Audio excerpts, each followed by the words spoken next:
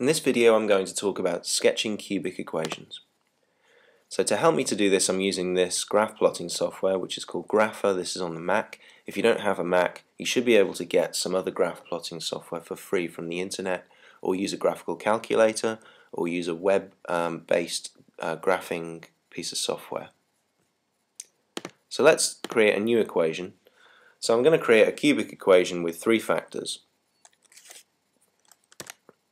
I'm going to choose those factors to be x minus 2, x minus 1, and x plus 3.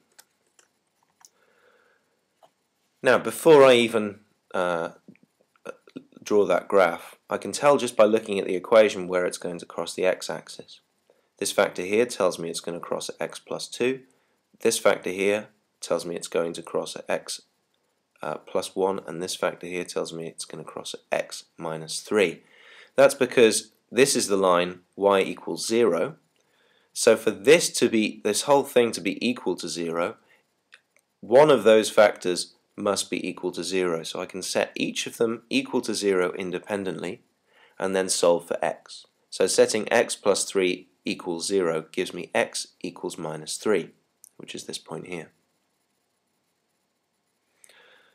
What else do I know about it?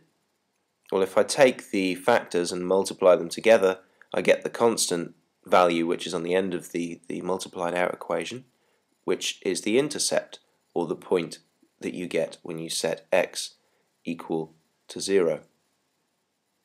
That's minus 2 times minus 1, which is plus 2, times plus 3, which is plus 6. So this curve should go through those three points we mentioned and uh, y equals 6, which is up here. So let's see if that's correct.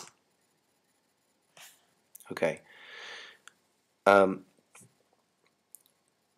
so that, that, pretty much um, covers what you will see with most cubic equations. Um, but that's with that's with three roots. What if we have fewer roots than three? Well, we could make two of those roots the same by uh, by deleting one of them. Let's delete the x plus 3 root and, and squaring another one.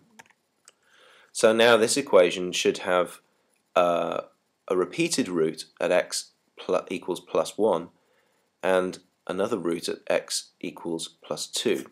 So it should touch the x-axis here and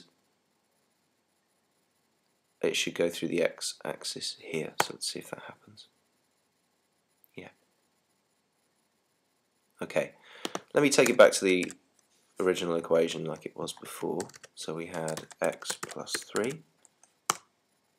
Okay. How else could a cubic equation be different? Well, instead of starting over here in the negative direction, it could start, uh, uh, sorry, on the negative uh, side of the y-axis, it could start up here on the positive side of the y-axis. So how would we make it do that? Well, if we write one of the factors, doesn't matter which one, um, in reverse, then the graph flips over. Why is that?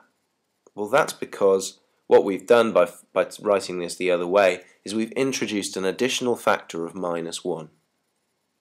I could take out that factor of minus 1 and put it at the front. Hence our graph would return to the original form. To get the new form I would simply write the factors as they were and keep the minus sign at the front. So a minus sign has the effect of flipping the whole equation um, around, uh, reflecting the equation in the x-axis direction.